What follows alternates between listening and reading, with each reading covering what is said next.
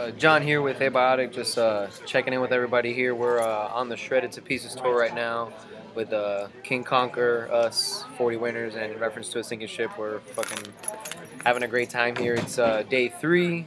Um, you know, we did Orlando and New Smyrna Beach last couple days. We'll be in Jacksonville tonight, and then tomorrow we're in Pensacola. Then it's Cocoa, and then uh, Tarpon Springs, and then after that, then we have an off day, and then we're in Lake Worth. So if you're in the Florida area, you know, come out, hang out. We're having a great time. A lot of great fucking bands on this tour. Um, we do have a, a record that we are going into the studio uh, day after this tour ends. So you know, you guys fucking get stoked on that. Um, it's it's gonna be fucking awesome. Uh, we'll be releasing that'll be our, our debut release for, for Metal Blade.